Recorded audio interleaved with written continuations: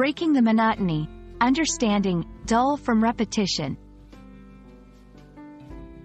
Hello, everyone. Welcome back to our channel, where we dive deep into the intricacies of the English language to make your learning journey easier and more enjoyable. Today, we're going to explore a phrase that you might have come across but found a bit puzzling. Dull from repetition. This phrase captures a feeling many of us experience, yet it packs a lot of meaning into just a few words. So, let's unravel its layers together. At first glance, dull from repetition seems straightforward, but there's more to it. This phrase describes the phenomenon where something becomes less interesting, exciting, or engaging because it has been experienced, seen, or done too many times. The word dull here means lacking interest or excitement, while repetition refers to the act of doing or saying something again and again. When put together, the phrase paints a picture of the boredom or weariness that can set in from too much of the same thing. To better understand this concept, let's look at some examples. 1. Reading the same book over and over can make the story feel dull from repetition, even if it was your favorite.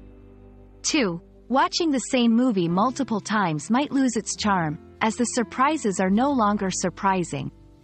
3. Repeating the same tasks at work daily can make your job feel monotonous and less engaging.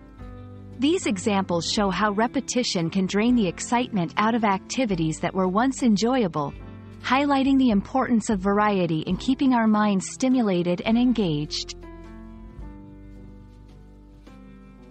So, how do we avoid this feeling? Here are a few tips. Introduce variety into your routine to keep things fresh and exciting. Set new challenges for yourself to make repetitive tasks more interesting.